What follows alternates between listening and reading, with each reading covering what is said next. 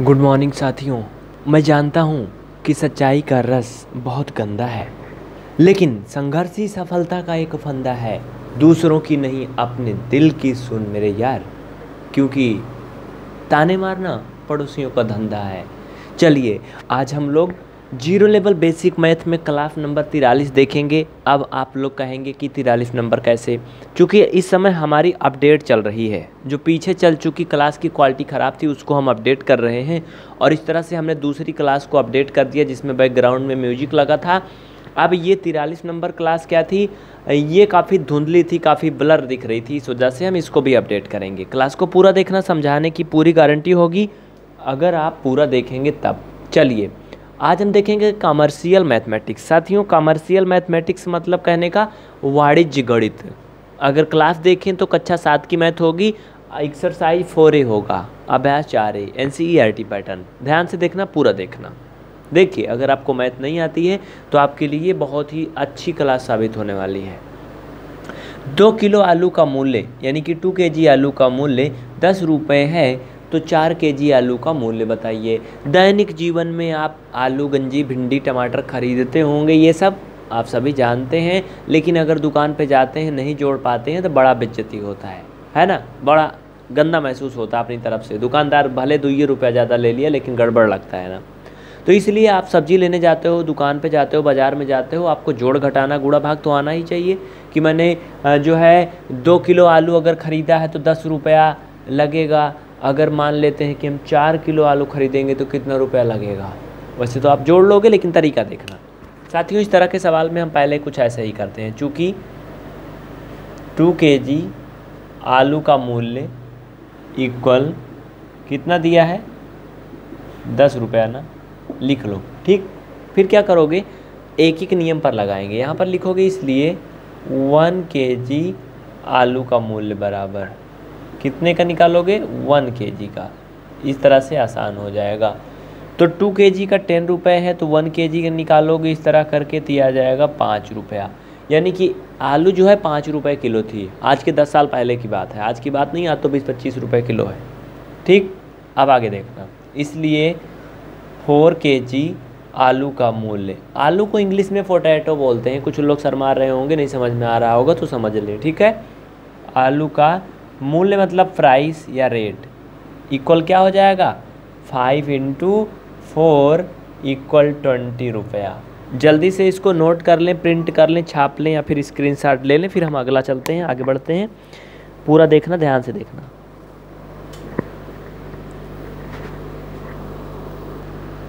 अगला सवाल नंबर दूसरा, देखना, ध्यान से समझना। क्या कह रहा है? कह रहा कि एक मजदूर एक दिन में तीन मीटर लंबी दीवार तैयार करता है। एक मजदूर है, एक आदमी है, जो कि एक दिन में तीन मीटर लंबी दीवार बनाता है। आप समझ रहे होंगे, घर बनता है, कोई भी मकान बनता है बिल्डिंग बनती है, आप देखे होंगे। तो एक मजदूर आता है तो एक दिन में तीन मीटर लंबी दीवार बनाता है। तो कह रहा है कि तीन मजदूर एक ही दिन में कितनी मीटर लंबी दीवार बनाएँगे? अब तो आप समझ ही गए होगे। भाई, अगर एक है तो तीन मीटर बना रहा है। दो हो जाएँगे तो छः मीटर बनाएँगे। तीन हो जाएँगे तो नौ मीटर बनाएँगे। है ना? इसको ऐसे लिख सकते हो। चूँकि एक मजदूर एक मजदूर एक दिन में दीवार बनाता है। कितना? दीवार बनाता है बराबर कितना? तीन मीटर। ठीक है? अब यहाँ लिखोगे, इसलिए तीन मजदूर। कितना मजदूर? तीन मजदूर। एक दिन में। एक ही दिन में पूछ रहा है, दीवार बनाएँगे, लिख लो ऐसे, ये बनाएँगे इक्वल तीन इंटू तीन बराबर नौ मीटर। बात समझ में आई ना?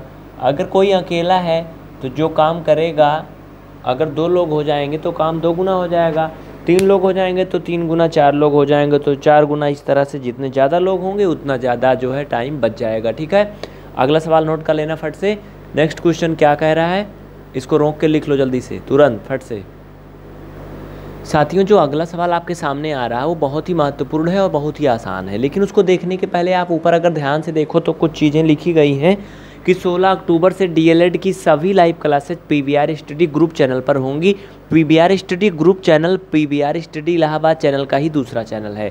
तो आप लोग इसको ज़रूर सब्सक्राइब कर लेना, जिससे आपकी कोई भी फ्री की क्लास मिस ना हो। ये सभी क्लास इस चैनल पर बिल्कुल फ्री होंगी। और ज़ीरो लेवल की मैथ भी उसी पर होने वाली है, क्योंकि पीवीआर स्टडी पर नया प्लान बन रहा है। याद रखना, चलिए। कुछ मजदूर किसी कार्य को चार दिन में करते हैं।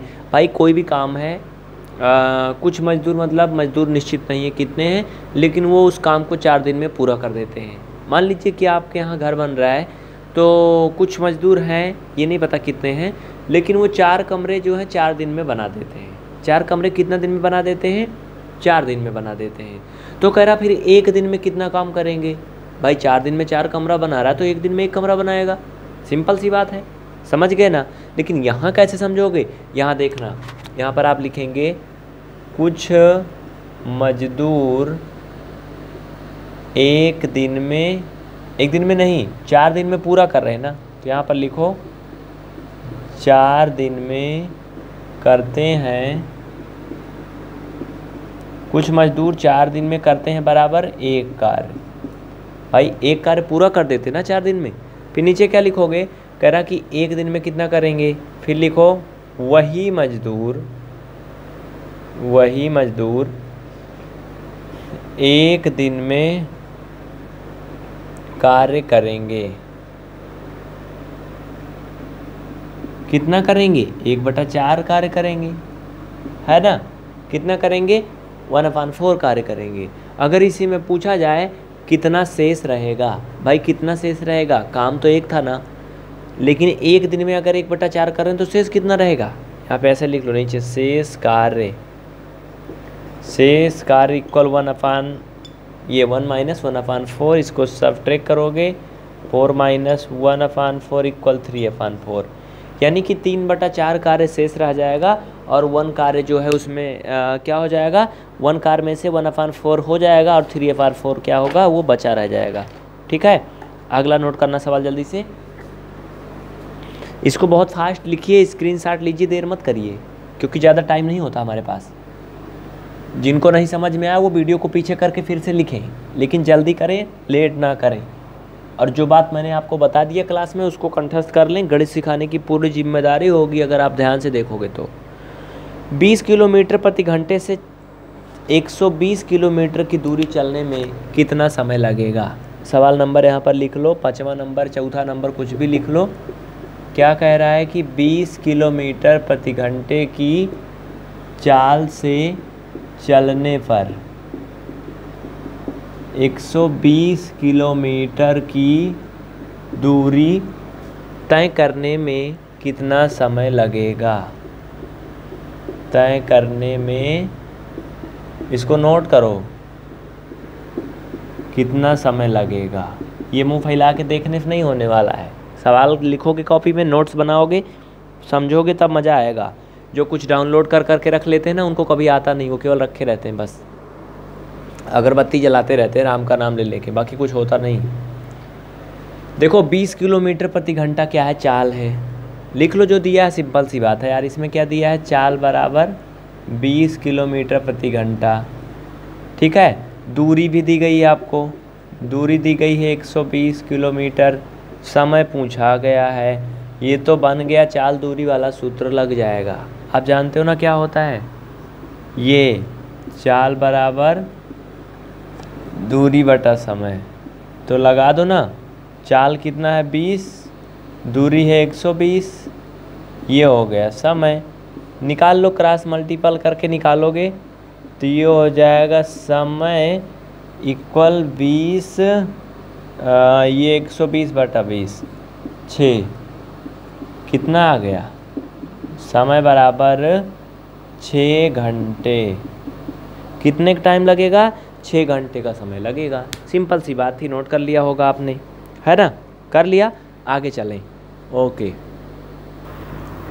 अगला देखना, गौर से देखना, क्या कह रहा है सवाल?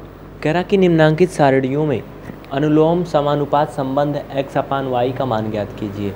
मतलब x का मान दिया है, y का मान जो है, वो भी दिया गया है, और यक्स अपान वाई निकालना है। देखिए, हमने यक्स का मान तो यहाँ लिख दिया लेकिन वाई का मान नहीं लिखा, उसको भी मैं लिख दे रहा हूँ, जो कि चौदह का पहाड़ा है। ठीक है? देखना, ये है चौदह, ये है अट्ठाईस, यानी कि फोर्टीन ट्वेंटी एट और तीन क्या होता है? फोर्टी टू यही दिया है, कुछ और दिया है। ना फोर्टी सिक्स और एक सौ बारह, एक सौ चौबीस दिया है। ठीक है, क्या दिया है? फोर्टी सिक्स यार फोर्टी सिक्स तो नहीं दिया था। फिफ्टी सिक्स एक सौ बारह।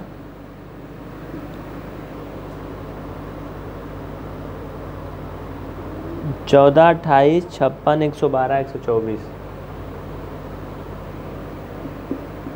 बट इसमें जो ऊपर दिया है वो बत्तीस तक दिया है, मैं नहीं समझ पा रहा हूँ।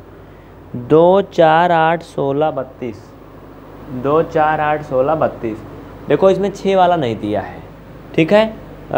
फ़िलहाल इससे कोई मतलब नहीं मैंने कुछ भी लिख लिया, आप कुछ भी लिख लो, इससे कोई मतलब नहीं है। हमने इसको, चलो 224 लिख लिया। बुक में आपका एक पार्ट नहीं दिया था इसमें। तो साथियों, यक्स का मान दिया है, वाई का मान सब दिया है एक्स वाई कैसे निकालोगे? ये सिंपल सी बात है, एक अपान वाई कर लो। मतलब दुई बटा ये हो गया चौदह।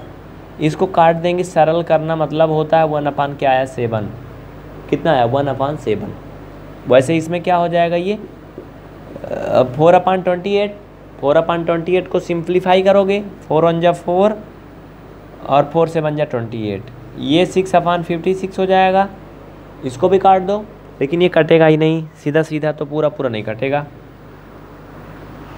है ना? दो से कटेगा। दो तिहाई छः दो दूना चार, दो अठे सोलह। हो गया? इसको भी सिंप्लीफाई कर दो।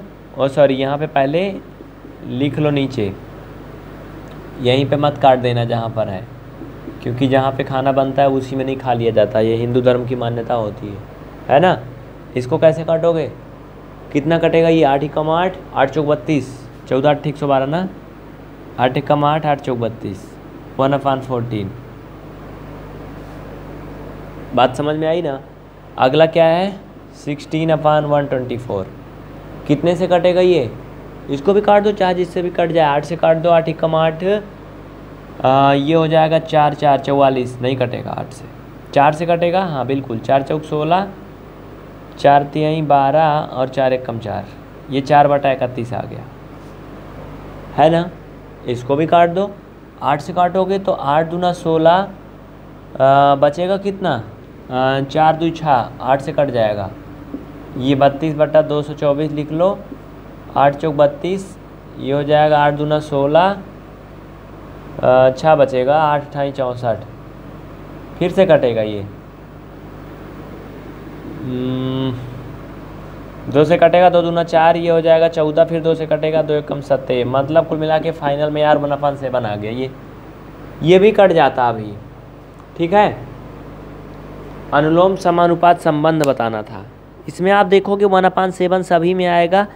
बट प्रॉब्लम क्या थी ना साथियों? जो हमने एक बदल दिया था अंक, उसी में वन अपान सेवन नहीं आया, बस बाकी सब में आया।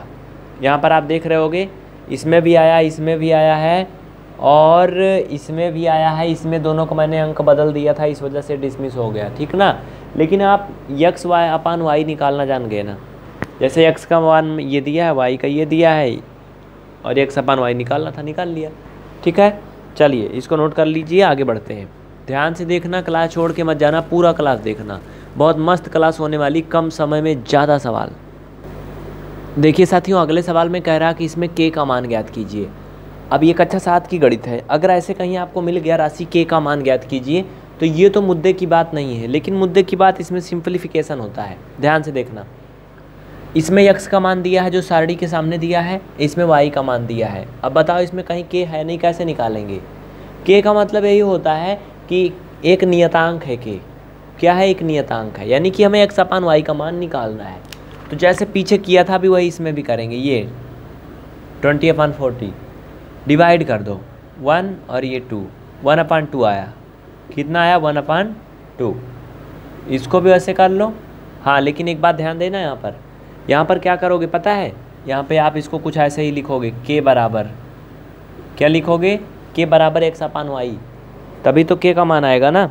लिख लो के बराबर एक्स अपान वाई तो बस वैसे करते चले जाओगे सभी में के बराबर। इसको थोड़ा शार्ट में अगर आपको बताएँ तो आप समझ गए होंगे, इसको बाहर करके देख लो भाई ये। इसको ऐसे करोगे के अपान यक्स अपान वाई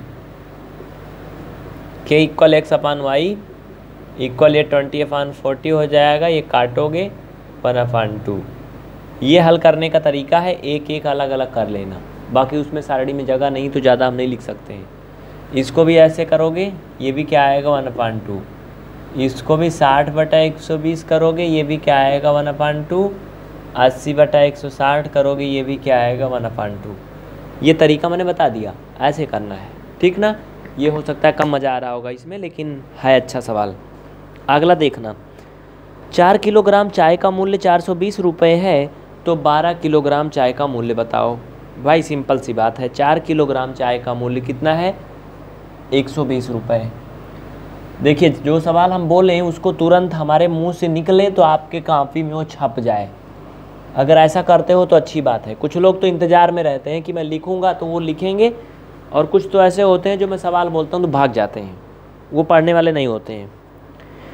चार किलोग्राम चाय का मूल्य चार सौ बीस रुपये तो बारह किलोग्राम चाय का मूल्य बताओ। सवाल नंबर सात लिख लो। चार के जी चाय का मूल्य चार सौ बीस रुपया। हो सकता है मैंने कुछ और रुपया बोला हो। उससे नहीं मतलब है। तरीका समझना सवाल का बस। तो बारह के जी चाय का मूल्य बताओ। देखिए साथियों, अगर किसी चीज़ के बारे में हमें जानकारी होती है और उसको हम ख़रीदने या बेचने जाते हैं तो बहुत मज़ा आता है, जोड़ घटाना आता है। अगर वो भी ना आएगा तो फिर हम हिसाब किताब ना कर पाएँगे, फिर घाटा हो जाएगा बिज़नेस में। यहाँ पे लिखिए, चूँकि फोर के जी चाय का मूल्य, देखो मैं दो तरीका बताऊँगा इसमें। कितना है? चार सौ बीस रुपया। Four hundred twenty rupees. तो करना क्या है? ट्वेल्व के जी का निकालना है, पहले वन का निकाल लो। इसलिए वन के जी चाय का मूल्य बराबर क्या हो जाएगा? चार सौ बीस बटे कितना? चार। निकाल लो गुड़ा भाग कर लो, आ जाएगा। चार से काटोगे चार एक कम चार, ज़ीरो चार पंचे बीस। मतलब एक सौ पाँच रुपये किलो चाय थी। कितना थी? एक सौ पाँच रुपया किलो। तो इसमें कितने का निकालना था यार हमको? बड़ा ज़्यादा था ना? कितना था?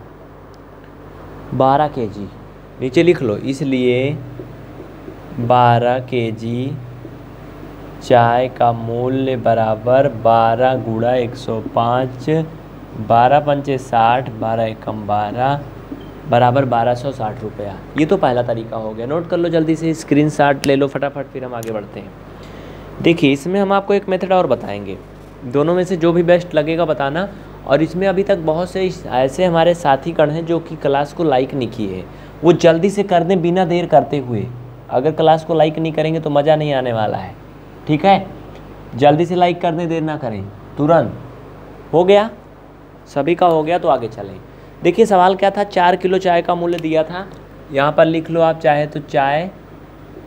ठीक है? और यहाँ पर क्या लिख लो? मूल्य। देखो, सवाल सभी को याद होगा। नहीं तो आप लिख लो पीछे करके वीडियो। चार के जी चाय थी तो मूल्य कितना था? चार सौ बीस रुपया था। कह रहा कि बारह के जी चाय का मूल्य बताओ, हमने मान लिया यक्स रुपये चलो, फटाफट कर लो, बस हो गया, आ गया। ये क्या हो जाएगा? चार अनुपाते बारह, ये समानुपाते चार सौ बीस अनुपाते यक्स। ये भी तो आप जानते हो ना, पढ़े लिखे हो। बाहर बाहर का गुड़ा कर लो, अंदर अंदर का। तो ये क्या हो जाएगा? चार का गुड़ा एक्स में हो जाएगा। बराबर बारह का चार सौ बीस में। यक्स बराबर बारह गुड़ा चार सौ बीस बटा ये चार कर लो। एक्स बराबर काट दो इसको। चार एकम चार चार पंचे बीस। ये देखो बारह सौ साठ रुपये आया। अब ये सेकेंड मेथड था। कमेंट करके बताना फ़र्स्ट मेथड सही है कि सेकेंड मेथड अवश्य कमेंट करना। अगर फ़र्स्ट मेथड सही है तो लिख देना फ़र्स्ट ए अगर सेकेंड सही है तो सेकेंड ए, ठीक है? बस कुछ भी लिख देना मतलब समझ में आए कि हाँ आप समझ गए, ठीक है? आठवां सवाल देखना साथियों, इसमें बहुत ही महत्वपूर्ण है। कह रहा कि 30 मीटर प्रति सेकंड की चाल किलोमीटर प्रति घंटा में क्या होगी? 30 मीटर प्रति सेकंड की चाल किलोमीटर प्रति घंटा में क्या होगी? जब सवाल पूरा हो जाए तो स्क्रीन पर टच करके वीडियो को रोक लें और लिख लें या फिर स्क्रीनशॉट ले लें। आप एक काम कर सकते हैं, एक बार समझ लें पूरा अच्छे से। उसके बाद वीडियो को दोबारा से चलाएँ और फिर नोट करें या स्क्रीन स्क्रीनशॉट लें। इस तरीके से बहुत मज़ा आएगा। या ऑफलाइन क्लास तो है नहीं कि भाग जाएगी, गायब हो जाएगी, ख़त्म हो जाएगी जल्दी जल्दी छाप लो, नहीं तो सर मिटा देंगे। मिटाने से भी आप फिर से लिख सकते हो वीडियो पीछे करके। ठीक ना? चलिए, देखिए मतलब समझिए। तीस मीटर प्रति सेकेंड। सवाल नंबर अठवा लिख लो। तीस मीटर प्रति सेकेंड को किलोमीटर पर घंटे में बदलिए। देखिए, ये बहुत ही आसान सवाल है, लेकिन बहुत ही इंपॉर्टेंट है वेरी वेरी लॉजिकल सवाल है। आप सभी जानते हो, चूँकि one kilometre equal one thousand metre इसको नोट करना। इसलिए अगर वन मीटर बराबर निकालोगे तो one upon one thousand kilometre. ठीक? और ये भी लिखना, चूँकि वन आवर इक्वल छत्तीस सौ सेकेंड। क्या होता है? एक घंटे में छत्तीस सौ सेकेंड होता है। क्यों? चूँकि एक घंटे में साठ मिनट होता है और एक मिनट में साठ सेकेंड होता है गुड़ा करोगे छत्तीस सौ सेकेंड। इसलिए एक सेकेंड में क्या होता है? एक बटा छत्तीस सौ घंटा होता है। इसको मैं क्यों लिख रहा हूँ? आपको याद करने के लिए, चूँकि भाई इसमें काम लगेगा। अब देखो भाई, सिंपल सी बात है, मीटर प्रति सेकेंड का मतलब हुआ कि ऊपर मीटर, नीचे क्या? सेकेंड। ये तो है, मीटर और सेकेंड में है। करना किसमें है? किलोमीटर प्रति घंटे का मतलब हुआ कि किलोमीटर ऊपर नीचे क्या हो जाए? घंटा हो जाए। यानी कि जो मीटर है वो किलोमीटर में चला जाए और सेकेंड जो है वो घंटे में बदल जाए। तो ऐसे क्या करेंगे? मीटर को किलोमीटर में बदलेंगे तो आप जानते हो क्या? वन मीटर में one upon one thousand kilometre. होता है ना? तो ये हो जाएगा ऊपर वन अपान वन थाउज़ेंड क्या? ये किलोमीटर। लेकिन ये थर्टी था तो थर्टी ऐसे रहेगा। मतलब समझना अभी? सब समझ में आएगा। थर्टी मैंने वैसे लिख दिया और ये मीटर की जगह पे one upon one thousand kilometre कर दिया। क्यों? क्योंकि हमें किलोमीटर में लाना है ना, नीचे वाला घंटे में लाना है।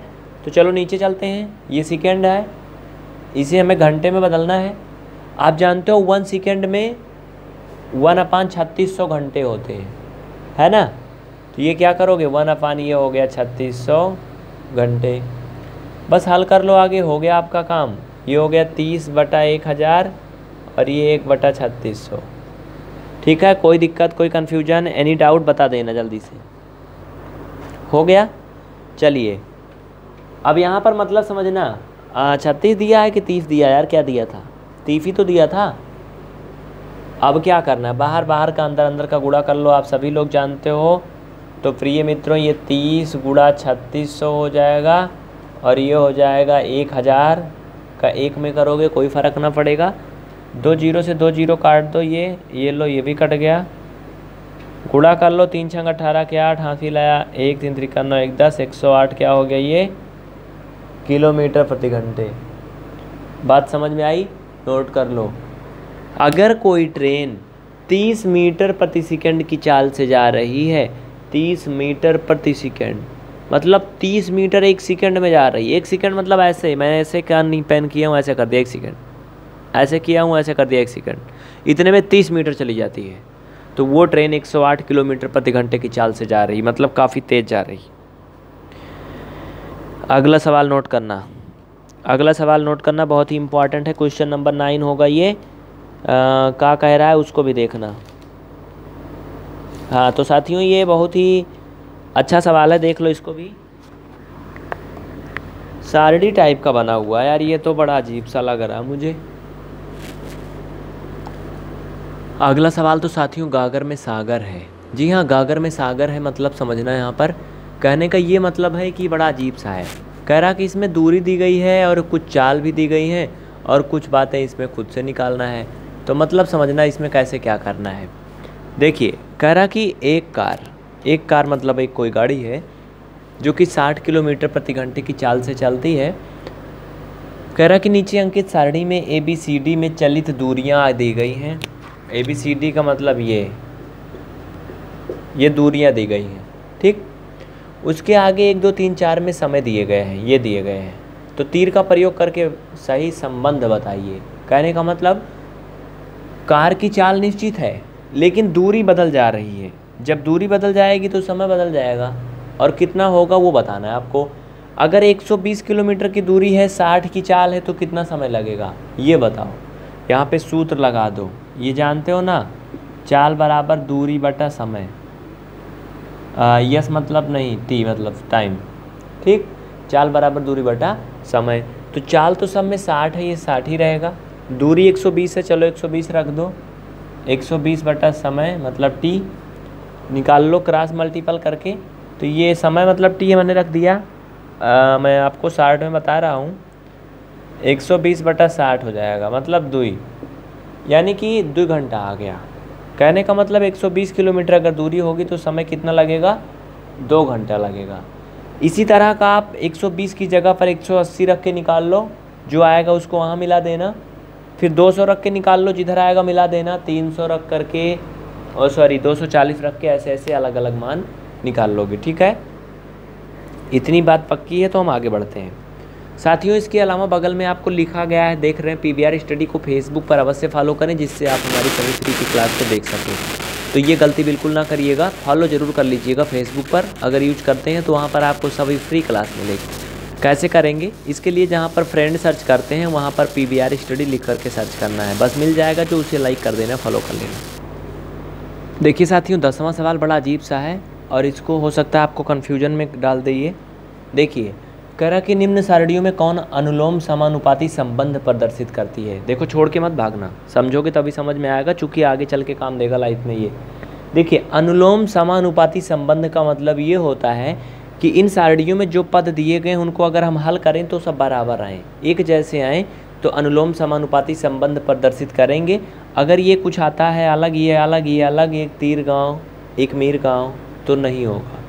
देखिए, इसको अगर आप सरल करोगे फाइव वन जा फाइव फाइव थ्री जा फिफ्टीन वन अफान थ्री आएगा। इसको करोगे एट वन जा एट एट थ्री जा ट्वेंटी फोर तो ये वन अफान थ्री आएगा। समझते जाना। इसको करोगे टू वन जा टू और ये टू एट जा एक बटा अठारह आएगा।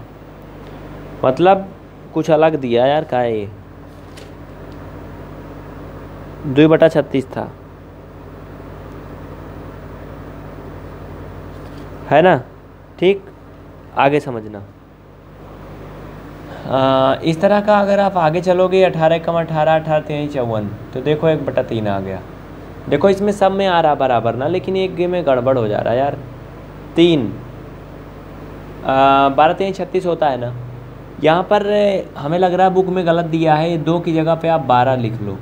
बारह लिखोगे तो चूँकि ये भी तीन आ जाएगा। है ना? ये बारह कम बारह बारह तीन छत्तीस। तो इस तरह से क्या आएगा? ये भी क्या हो गया? एक बटा तीन। हमने ऐसा इसलिए लिखा चूँकि हमें सीधे करके एक में दिखाना है, मैंने लिखा दिया। मतलब समझना, यहाँ पर अगर दो लिखेंगे तो ये नहीं आएगा बराबर। लेकिन आप सोच रहे होंगे, दो लिखेंगे, तीन लिखेंगे, इससे नहीं मतलब। सवाल गलत दिया गया था बुक में, ठीक है? तो ये राइट आंसर है। मतलब कहने का ये है कि सरल करने पे देखो, सब में वही आ रहा है ना। अब लिखेंगे, अतः यह सारणी अनुलोम समानुपाती संबंध प्रदर्शित करती है। ठीक? अगला देखना। अगर ये कोई भी एक डिफरेंस आ जाएगा, बराबर ना आएगा तो लिखेंगे, ये सारणी अनुलोम समानुपाती संबंध प्रदर्शित नहीं करती है। इसमें देखोगे वन अपान फाइव हल नहीं होगा, इसको करोगे वन अपान थ्री हो जाएगा, इसको करोगे थ्री अपान सेवन हल ना होगा, ये हो जाएगा वन अपान टू यहाँ पर आप पाएँगे कि हर एक जो है अलग अलग आ रहा है, सब अलग आ रहा है। इसका मतलब ये अनुलोम समानुपाती संबंध प्रदर्शित नहीं करती है। ठीक ना? नीचे देखना। ये क्या है? अनुलोम समानुपाती संबंध प्रदर्शित नहीं करती। इसको काटोगे, ये वन वन डिजिट पे लगा है, सब कुल मिला के वन आएगा, ये भी कटेगा वन आएगा, ये बराबर है वन आएगा, ये भी क्या आएगा वन आएगा। यानी सभी में क्या आया? वन वन आया। ये भी अनुलोम समानुपाती संबंध प्रदर्शित करेगी। मतलब अगर ये काटने पीटने के बाद सिंप्लीफाई करने पर अलग अलग पद आते हैं तो अनुलोम समानुपाती संबंध प्रदर्शित नहीं करेगी सारणी। अगर आएगा बराबर तो करेगी। नोट कर लीजिए, हो गया इतना। आपकी जानकारी के लिए बता दूँ कि आपकी डीएलएड की क्लास साथियों छः बजे से चलेगी पीवीआर स्टडी ग्रुप चैनल पर। इस चैनल पे नहीं होगी, ठीक है? याद रखना पीवीआर स्टडी ग्रुप चैनल पर। उसको सब्सक्राइब करके बेल आइकन को ऑन करना, जिससे आप वहाँ से देख सको। ठीक है? चलिए। तो साथियों चलते चलते आपको बता दें, अगर आप पूरा कंप्लीट क्लास चाहते हैं तो इस नंबर पर संपर्क करें। व्हाट्सएप करें मैसेज करें या फ़ोन कॉल करें और पूरा कंप्लीट क्लास आप घर बैठे देख सकते हैं, मात्र five hundred forty nine rupees में। ठीक है? पाँच सौ उनचास रुपये में। अगर आप बिल्कुल नहीं करना चाहते हैं, कुछ भी ना पेमेंट करें, एकदम फ्री वाली देखना चाहते हैं तो P B R study group channel पर अपने यूट्यूब में सब्सक्राइब करें मोबाइल में और बिल्कुल घर बैठे फ्री में देखते रहें, लेकिन कुछ पार्ट्स नहीं मिलेंगे जिनको अगर आपको लेना है तो आपको नंबर पे कांटेक्ट करना होगा। डीएलएड की क्लास आज सुबह छः बजे से होगी, ऐसा नहीं नहीं होगी, लेकिन वो पी स्टडी ग्रुप चैनल पर होगी। साढ़े छः बजे से अगला सेमेस्टर वाली भी होगी, आठ बजे से दस वाली भी होगी, लेकिन इस चैनल को सब्सक्राइब करके रखोगे तभी मिल पाएगी, क्योंकि हो सकता है ये क्लास जो है इस चैनल पर ना हो, उसी चैनल पर होगी। ज़ीरो लेवल की मैथ आज से आपकी फिर से शुरू हो गई है। अब ये आपको सप्ताह में तीन दिन ज़रूर मिलेगी। ठीक है? तीन दिन मिलेगी। उसमें आपको सारी क्लास अपडेट कर दिया जाएगा, जो पुरानी क्लासें नहीं अपडेट थी मतलब ख़राब क्वालिटी थी। तो चलते हैं, शुक्रिया। छः बजे से देखना P V study group channel पर। डी का मैथ बेसिक कॉन्सेप्ट सब के लिए महत्वपूर्ण होगा।